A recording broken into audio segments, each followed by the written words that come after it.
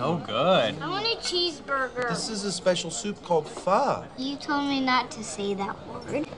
It's important that you celebrate the culture of your ancestors. You are Vietnamese. No, I'm not. I'm gay. I'm gay.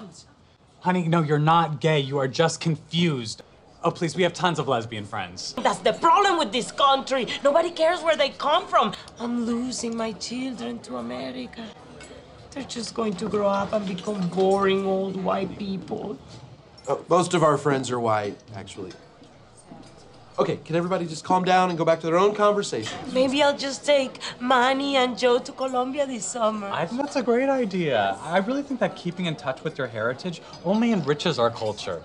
Absolutely. I think we would all be better off if people would go back to where they came from. I, I'll pull the car around. yes.